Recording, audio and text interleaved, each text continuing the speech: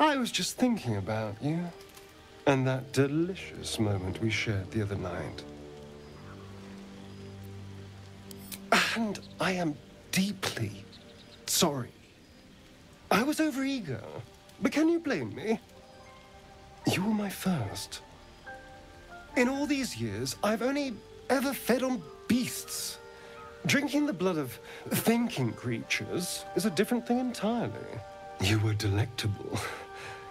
And now I can't help but wonder how the others taste.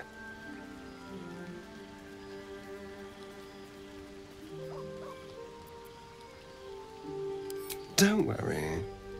There's enough of me to go around. I'm a man of tremendous appetites. I don't think they'd volunteer, of course.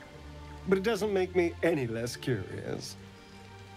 Take Gale, for example. He strikes me as someone whose blood is rich, refined, like well-aged brandy. But the Gith? What in the hells would she taste like? Hmm. Oh. Well, that sounds very appealing. I'm almost convinced.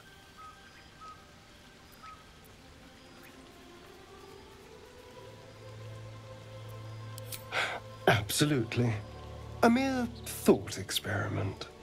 So, in the spirit of theoretical questions, if you had to take a bite from one of them, who would it be?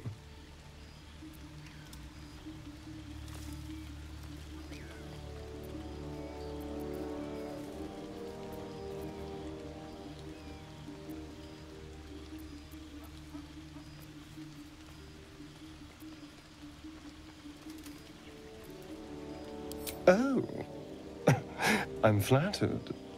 Who knew you had such taste?